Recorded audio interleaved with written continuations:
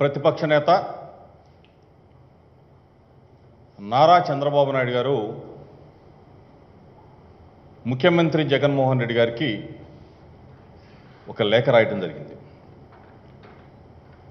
గ్రామ సచివాలయ ఉద్యోగ నియామకాల్లో అక్రమాలు జరిగాయి అవినీతి జరిగిందనే దాని మీద ఒక లేఖ రాశారు. చంద్రబాబు నాయుడు గారు అసలు ఈ లేఖ రాయటానికి చంద్రబాబు నాయుడు గారికి అర్హత ఉందా అని చెప్పేసి పాత్రికేయ మిత్రుల ద్వారా పాత్రికేయుల ద్వారా నేను అడుగుతా ఉన్నాను చంద్రబాబు నాయుడు గారు సు- సుమారుగా ఉమ్మడి ఆంధ్రప్రదేశ్ కానివ్వండి ఆంధ్రప్రదేశ్ రాష్ట్రం విడిపోయిన తర్వాత కానివ్వండి సుమారుగా పద్నాలుగు సంవత్సరాల పాటు ముఖ్యమంత్రిగా పనిచేశారు. చంద్రబాబు నాయుడు గారు మిమ్మల్ని సూటిగా అడుగుతా ఉన్నాను. పద్నాలుగు సంవత్సరాల కాలంలో మీరు ముఖ్యమంత్రిగా ఉన్న కాలంలో ఏ ఒక్కసారైనా సరే ఏపీపీఎస్సి ద్వారా ఒక లక్ష ఇరవై ఏడు వేల ఉద్యోగాల నియామకాలు చేసిన చరిత్ర నీకుందా అని చెప్పి అడుగుతా ఉన్నాను నేను దయచేసి మీడియా ప్రతినిధులకు చెప్తా ఉన్నాను మీడియా అధిపతులకు చెప్తా ఉన్నాను. మనం ఒక ఒక మంచి కార్యక్రమం తీసుకుంటే దాన్ని ప్రజల్లోకి తీసుకెళ్ళాల్సిన బాధ్యత మనందరి మీద ఉంది. ఏదో ఒక బూతు పత్రికో ఒక బూతు ఛానల్లో ఒక గాలిని పోగేసి ఆ గాలి వార్తలు రాస్తే ఆ గాలి వార్తలు పట్టుకొని చంద్రబాబు నాయుడు గారు ప్రెస్ మీట్లు పెట్టి చంద్రబాబు నాయుడు గారు ముఖ్యమంత్రి గారికి లేఖ రాయడం ఎంతవరకు సమంజసమని నేను నారా చంద్రబాబుని అడుగుతాను. ఆ బూతు పత్రికో ఆ బూత్ ఛానల్లో కథనాలు అల్లుతాయి. ఆ కథనాలు అల్లటానికి కారణం కూడా ఈ నారా చంద్రబాబు నాయుడే. ఆ బూత్ పత్రికలోనో ఆ బూత్ ఛానల్లోనో ఫలానా రోజు ఈ వార్త రాయాలి ఫలానా రోజు ఈ వార్తని ప్రచురించాలి ఫలానా రోజు ఈ వార్తని ప్లే చేయాలన్న వీళ్ళ తాపత్రయానికి సిగ్గుపడాలా బాధపడాలా చంద్రబాబు నాయుడు గారు ఏనాడైనా సరే నీ పద్నాలుగు సంవత్సరాల కాల పరిమితిలో నువ్వు ముఖ్యమంత్రిగా ఉన్న కాలంలో లక్షా ఇరవై ఏడు వేల ఉద్యోగాలు ఏపీపీఎస్సి ద్వారా భర్తీ చేయాలి అన్న ఆలోచన నీ బుర్రకు వచ్చిందా? ఈరోజు ఒక చరిత్రయ్యా. ఈ చరిత్ర దేశ చరిత్రలో ఏ ముఖ్యమంత్రి చేయని విధంగా వంద రోజుల కాల వ్యవధిలో నో లక్ష ఇరవై ఏడు వేల ఉద్యోగాలని భర్తీ చేశాడంటే ఒక వీరుడు. ఈ రాష్ట్ర ముఖ్యమంత్రి వైఎస్ జగన్మోహన్ రెడ్డి గారు విలువలు విశ్వసనీయత ఉన్నవాడు కాబట్టే వంద రోజుల్లో లక్ష ఇరవై ఏడు వేల ఉద్యోగాలు మన పిల్లలకి ఇచ్చాడు. ఆంధ్రప్రదేశ్లో ఈరోజు మేము గర్వంగా చెప్తా ఉన్నాము మేము ఒక బలహీన వర్గాల వ్యక్తిగా ఒక బీసీగా ఒక ఎస్సీ ఎస్టీ మైనార్టీల మనోభావాలను గౌరవించే వ్యక్తిగా నేను ముఖ్యమంత్రి గారిని అభినందిస్తూ ఉన్నాను. చెప్పిన మాటని చెప్పినట్టు చేసి చూపెట్టిన జగన్మోహన్ రెడ్డి గారికి రాష్ట్ర ప్రజలందరూ కూడా మా బలహీన వర్గాలు మా బీసీ ఎస్సీ ఎస్టీ మైనార్టీల పిల్లలందరూ కూడా జేజేలు పలుకుతా ఉన్నామయ్యా ఈ రోజున. ఈరోజు మా కళల్లో మా పిల్లల కళల ఆనందాలు చూస్తూ ఉన్నాం.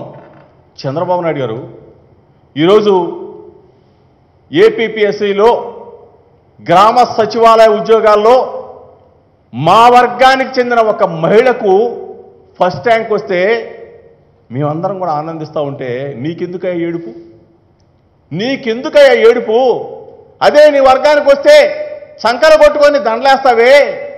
మా వర్గాలకు వస్తే మా బీసీలు మా ఎస్సీలు ఎస్టీలు మైనార్టీలకు వస్తే హర్షించడం పోయి రాళ్ళేయటం కారు కూతలు కూయటం. ఈరోజు ఇరవై లక్షల మంది సుమారుగా ఉద్యోగాలు అంటే పరీక్ష రాస్తే ఏ ఒక్కళ్ళైనా వచ్చి ఎక్కడైనా పొరపాటు జరిగింది ఇక్కడ అవినీతి జరిగింది ఇక్కడ ఉద్యోగాలు అమ్ముకున్నారు అన్న మాట ఇరవై లక్షల మందిలో ఏ ఒక్కళ్ళు కూడా అనలేని విధంగా ఈ రోజున సజావుగా పారదర్శకంగా ఒక పద్ధతి ప్రకారం అవినీతి లేని విధంగా ఈ రోజున జగన్మోహన్ రెడ్డి గారు పరీక్షలు నిర్వహిస్తే కనీసం మానవతా విలువలు లేని ఈ చంద్రబాబు నాయుడు. నువ్వు అక్కసుతో. ఈరోజు చంద్రబాబు నాయుడు లెటర్ చూసా. నాలుగు లక్షల కంట ఉద్యోగాలు అమ్ముకుంటున్నాడు అని చెప్పి ఒక పత్రిక అంట కథనం వచ్చిందంట. ఆ కథనాన్ని పట్టుకొని అంటే లెటర్ రాశాడు. సిగ్గు లేదా నీకు? పద్నాలుగు సంవత్సరాల పాటు ముఖ్యమంత్రి చేశావు. ఎవడో ఏదో ఒక బూతు పత్రికలో ఒక కథనం రాస్తే ఆ కథనం తీసుకొని ముఖ్యమంత్రి గారికి లెటర్ రాస్తావా? సిగ్గు.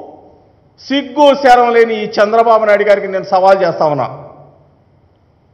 సవాల్ ఛాలెంజ్ ఖబర్దార్ చంద్రబాబు నాయుడు గారు. ఎందుకో తెలుసా? ఏమంటారు మా వర్గాల ప్రజలకి లక్షా ఇరవై ఏడు వేల ఉద్యోగాల్లో ఈ రోజున అరవై నాలుగు వేల ఉద్యోగాలు రిజర్వేషన్ ప్రకారం యాభై శాతం రిజర్వేషన్ కల్పించిన మా జగన్మోహన్ రెడ్డి గారు మా పిల్లలకి అరవై నాలుగు వేల ఉద్యోగాలు గ్రామ సచివాలయాల్లో ఇచ్చాడు చంద్రబాబు నాయుడు గారు. అరవై నాలుగు వేల ఉద్యోగాలు ఇవ్వటమే కాదు మెరిట్లో కూడా కొన్ని వేల మంది మా పిల్లలు ఉత్తీర్ణులయ్యారు. అంటే సుమారుగా డెబ్బై శాతం ఈరోజు లక్ష ఇరవై ఏడు వేల ఉద్యోగాల్లో డెబ్బై శాతం ఉద్యోగాలు మా బీసీ ఎస్సీ ఎస్టీ మైనార్టీ మా పిల్లలకు వస్తే ఏడుస్తావా? కడుపుమంట ఎవడో ఒక పేపర్లోనంట ఆ ఏబిఎన్ వేమూరి రాధాకృష్ణ. బూతు మాటలు బూతు పదాలతో పేపర్ లీకేజ్. చంద్రబాబు నాయుడు గారు కనీసం స్పృహ ఉందయ్యా? జ్ఞానం ఉందయ్యా? ఎగ్జామ్ ఎప్పుడు జరిగిందయ్యా? ఎగ్జామ్ ఎప్పుడు జరిగింది? ఎప్పుడు రిజల్ట్స్ వచ్చినాయి? ఎగ్జామ్ జరిగినప్పుడు కానీ ఎగ్జామ్ ముందు కానీ ఎవ్వరు కూడా ఒక మాట మాట్లాడాల. పేపర్ లీక్ అయిందన్న మాట కానీ పేపర్ వచ్చిందన్న మాట కానీ ఎవ్వరు కూడా చెప్పాల. రిజల్ట్స్. ముఖ్యమంత్రి గారు ఆ ఫలితాలను విడుదల చేసిన తరువాత లీకేజ్ అయిందని చెప్పేసి ఒక వార్త. అది ఒక బూతు పత్రికలో రాయటం. అది ఒక బూతు ఛానల్లో చెప్పటం. దాన్ని తీసుకొని చంద్రబాబు నాయుడు ప్రెస్ మీట్ పెట్టడం ఆ ప్రెస్ మీట్ పెట్టడమే కాదు ముఖ్యమంత్రి గారికి ఒక లేఖ రాయటం. చంద్రబాబు నాయుడు గారు నువ్వు తల్ల కిందు తపస్సు చేసినా సరే నీ మాటలు ప్రజలు విశ్వసించరు. విలువలు లేనివాడు విశ్వసనీయత లేనివాడు ఎవరైనా ఉన్నారంటే ఈ రాష్ట్రంలో నారా చంద్రబాబు నాయుడు. విలువలున్నవాడు విశ్వసనీయత ఉన్నవాడు విలువలకు కట్టుబడ్డవాడు ఎవరైనా ఉన్నారు ఈ రాష్ట్రంలో అంటే వైఎస్ జగన్మోహన్ రెడ్డి గారు. నువ్వు నీ పద్నాలుగు సంవత్సరాల ముఖ్యమంత్రి కాలంలో పద్నాలుగు సంవత్సరాలు నువ్వు ముఖ్యమంత్రిగా చేసిన లక్ష ఇరవై ఏడు వేల ఉద్యోగాలు భర్తీ చేయలేని దద్దమ్మవి నువ్వేం మాట్లాడతావయ్యా? వంద రోజుల్లో లక్ష ఇరవై ఏడు వేల ఉద్యోగాల్ని మన పిల్లలకిచ్చిన జగన్మోహన్ రెడ్డి గారిని ప్రజలు జేజేలు పలుకుతూ ఉంటే ఈ చంద్రబాబు నాయుడు. ఈయన పరిపాలన అంతా కూడా కాంట్రాక్ట్ సోర్సెస్ అవుట్ సోర్సులు సిఎల్స్ ప్రైవేటు వ్యక్తులకు దారదత్తం అవుట్ సోర్సింగ్ ఉద్యోగాలు ఏ రోజైనా సరే ఏ రోజైనా సరే ఏపీపీఎస్సీ ద్వారా ఒక లక్ష ఉద్యోగాలు భర్తీ చేసేవా చంద్రబాబు నాయుడు గారు. నీ పద్నాలుగు సంవత్సరాల కాలంలో నీ డిఎస్సీలైనా కలుపుకుంటే డిఎస్సీలు మొత్తం కూడా కలుపుకుంటే లక్షా ఇరవై ఏడు వేల ఉద్యోగాలు భర్తీ చేసేవా చంద్రబాబు నాయుడు గారు. ఈయన లేఖలో చెప్తాడు ఉమ్మడి ఆంధ్రప్రదేశ్లో విభజన జరిగిన తర్వాత ఆంధ్రప్రదేశ్లో లక్షలాది ఉద్యోగాలంట నియామకాలు జరిగినాయంట. ఆ నియామకాల్లో ఏం జరగలేదు తప్పు జరగలేదు. ఏందయ్యాను అసలు ఎక్కడ జరిగినాయా? నియామకాలు ఎక్కడ జరిగినాయా? ఇరవై లక్షల మంది ఈరోజు మన పిల్లలు ఉద్యోగాలు రాస్తే ఈ ఇరవై లక్షల మంది పరీక్షలు రాస్తే ఏ ఒక్కళ్ళు కూడా పేపర్ కఠినంగా ఉంది కష్టంగా ఉంది IAS IPS group one group two paper లాగా కష్టంగా ఉందని చెప్పేసి మా దగ్గరకు వచ్చి అందరి దగ్గరకు వచ్చి వాపోయిన పరిస్థితులు. వాళ్ళ మనోభావాలు దెబ్బతీసే విధంగా వాళ్ళ తల్లిదండ్రుల మనోభావాలు దెబ్బతీసే విధంగా ఈరోజు చంద్రబాబు నాయుడు చేస్తున్న ఈ వికృత చేష్టల్ని ప్రజలు చేదరించుకుంటారు. చంద్రబాబు నాయుడు గారు ఈరోజు నువ్వేదో ముఖ్యమంత్రి గారికి లేఖ రాద్దాం ముఖ్యమంత్రి గారికి లేఖ రాస్తే మీడియాలో వస్తుంది చంకలు గుద్దుకుందామని చెప్పేసి నువ్వు సంబరపడిపోతున్నావేమో. నిన్ను మాత్రం క్షమించరు. ఈరోజు ఈ పాపం గ్రామ సచివాలయ ఉద్యోగాలకి ఇరవై లక్షల మంది హాజరయ్యారయ్యా. నిరుద్యోగులు మన పిల్లలు. ఆ మన పిల్లలకి వెను వెంటనే వంద రోజుల్లో లక్ష ఇరవై ఏడు వేల ఉద్యోగాలు కల్పించిన ఒక వీరుడు ఒక ధీరుడు ఒక దీశాలి వైఎస్ జగన్మోహన్ రెడ్డి గారు విలువలు ఉన్నవాడు విశ్వసనీయత ఉన్నవాడు ఈరోజు పిల్లల నమ్మకం. ఈ ఇరవై లక్షల మంది కాదు ఇంకా ఇరవై లక్షల మంది ఉన్నా సరే మన పిల్లలందరూ కూడా జగన్మోహన్ రెడ్డి గారి నాయకత్వం కావాలి. జగన్మోహన్ రెడ్డి గారు ఉంటే మన పిల్లలకు ఉద్యోగాలు వస్తాయి మాకు ఉద్యోగాలు వస్తాయని చెప్పేసి ఈ రోజున ఒక విశ్వసనీయతతో ఉన్నారు. ఇంకా ఉద్యోగాలు ఇచ్చే క్రమంలో ఈ ప్రభుత్వం ముందుకు వెళ్తూ ఉంది. ఈ పరిస్థితుల్లో ప్రభుత్వాన్ని దెబ్బతీయాలనో ప్రభుత్వం మీద బురద వేయాలనో ముఖ్యమంత్రి గారిని ముఖ్యమంత్రి గారి ఆయన మీద ఏదో అబండాలు వేసి ఈరోజు పారదర్శకంగా పారదర్శకంగా ఇన్ని లక్షల ఉద్యోగాలు ఇస్తున్న జగన్మోహన్ రెడ్డి గారు. ఈరోజు ఏ కాంట్రాక్ట్ చూసినా ఏ పని చూసినా ఈ రోజున మా వర్గాలకి ఆయన వేస్తున్న సముచిత స్థానానికి చంద్రబాబు నాయుడు ఎండ్కో. చంద్రబాబు నాయుడు తాబేదారులు. ఈ పచ్చ పత్రికలన్నీ కూడా కుట్రలు పన్నిన జనం జనం గుండెల్లో జగన్మోహన్ రెడ్డి గారు ఈ రోజున. విద్యార్థుల గుండెల్లో జగన్మోహన్ రెడ్డి గారు నిరుద్యోగుల గుండెల్లో జగన్మోహన్ రెడ్డి గారు ఎస్సీ ఎస్టీ బీసీ మైనార్టీలు అందరూ కూడా జగన్మోహన్ రెడ్డి గారిని జేజేలు పలుకుతున్న ఈ పరిస్థితులు. ఈ పరిస్థితుల్లో నువ్వు ఏం చెప్పినా నీ వేమూరి రాధాకృష్ణ బూతు పత్రిక ఆ ఆంధ్రజ్యోతి అవ్వచ్చు ఆ బూత్ ఛానల్ ఏబిఎన్ అవ్వచ్చు. నేను ఇంకోటి కూడా చెప్తా ఉన్నా మా మనోభావాలను దెబ్బతీసిన మిమ్మల్ని మా బీసీ ఎస్సీ ఎస్టీ మైనార్టీ పిల్లల మనోభావాల్ని మా వర్గ ప్రజల మనోభావాల్ని దెబ్బతీసిన ఈ రాధాకృష్ణ వేమూరి రాధాకృష్ణ ఖబర్దార్ నీకు పేపర్ ఎక్కడి నుంచి లీక్ అయిందో నువ్వు చెప్పాలి. నీ పేపర్లో ఏ విధంగా ప్రచురించావో చెప్పాలి. నీ పేపర్ ద్వారా నువ్వు ప్రచురించిన విధానంతో మేమందరం కూడా మనస్తాపానికి గురయం అది చెప్పకపోతే నీ మీద చట్టపరంగా క్రిమినల్ చర్యలు తీసుకొని నిన్ను ఫోర్ ట్వంటీగా ఈ సమాజంలో నిలబెడతాం.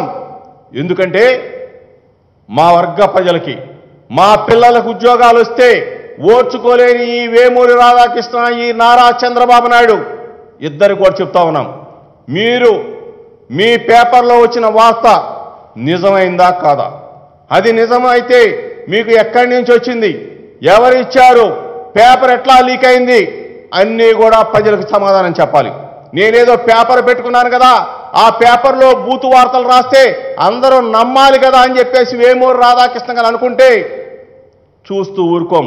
ఖబర్దార్ రాధాకృష్ణ నీ దగ్గరున్న నీ దగ్గరున్న నిజాలన్నీ తీసుకురా. రేపో మాపో మా బీసీ ఎస్సీ ఎస్టీ మైనార్టీల తరపున మేము కూడా వస్తాం. నీ పత్రిక దగ్గరకు వస్తాం నీ దగ్గరకు వస్తాం. నువ్వు నీ నిజాలన్నీ కూడా బయట పెట్టాలి. ఆ నిజాలు బయటకు పెట్టకపోతే వేమూరి రాధాకృష్ణ మీద క్రిమినల్ చర్యలు తీసుకుని ఫోర్ ట్వంటీగా ఉంచి అతన్ని అరెస్ట్ చేయాలి చట్ట ప్రకారం వేమూరి రాధాకృష్ణ మీద చర్యలు తీసుకోవాలి. అతన్ని అనుసరించి ప్రతిపక్ష నేత Nara Chandrababu Naidu SC ST BC minority వర్గాల మా పిల్లల మీద నువ్వు చేస్తున్న అరాచకాలు కుట్రలు మా పిల్లలకు ఉద్యోగాలు వస్తే నీ ఓర్వలేని తనాన్ని బయటపెట్టే విధంగా చంద్రబాబు నాయుడిని కూడా ఎండగడతాం. తప్పనిసరిగా ఇటు వేమూరి రాధాకృష్ణ ఇటు నారా చంద్రబాబు నాయుడు ఇద్దరు కూడా మాకు సమాధానం చెప్పాలి. లక్షా ఇరవై ఏడు వేల ఉద్యోగాల్లో డెబ్బై శాతం మా వర్గానికి వచ్చినాయి. మా వర్గ ప్రజల మా వర్గ పిల్ల ప్రజల పిల్లల మేమందరం కూడా మీరు చేసే వికృత చర్యలకి విసిగిపోయాం. మీరు గన ఈ విషయాల మీద మీరు బహిరంగంగా రాకపోతే మీ మీద చట్టపరంగా చర్యలు తీసుకోవడానికి ఎట్టి పరిస్థితుల్లో వెనుకాడమని చెప్పేసి రాధాకృష్ణుని నారా చంద్రబాబు నాయుడు గారిని హెచ్చరిస్తూ ఖబర్దార్ దమ్ముంటే రా. దమ్ముంటే నారా చంద్రబాబు నాయుడు గారు రా. నీ పద్నాలుగు సంవత్సరాల నీ కాలంలో నువ్వెన్ని ఉద్యోగాలు ఇచ్చావో తెలుసుకుందాం. వంద రోజుల కాలంలో ఇన్ని వేల లక్షల ఉద్యోగాలు ఇస్తున్న జగన్మోహన్ రెడ్డి గారికి సాటి నువ్వు కాదు. నువ్వు ఒక నిమిత్త మాత్రుడివి. నీకు ఇరవై మూడు సీట్లు ఇచ్చి నీ కాళ్ళు చేతులు నిన్ను ఎరగగొట్టి ప్రజలు ఆంధ్ర రాష్ట్ర ప్రజలు కూర్చోబెట్టారు. ఈ ఏదో నువ్వు పగటి వేషాలు కని ఇదేదో బూతు పత్రికల్లోనో బూతు ఛానల్లో వస్తున్న వార్తలను గన గాలి వార్తలను గన పోగేసుకొని ముందుకొస్తే మాత్రం ఊరుకునేది లేదని చెప్పేసి నారా చంద్రబాబు నాయుడిని హెచ్చరిక చేస్తా ఉన్నాం.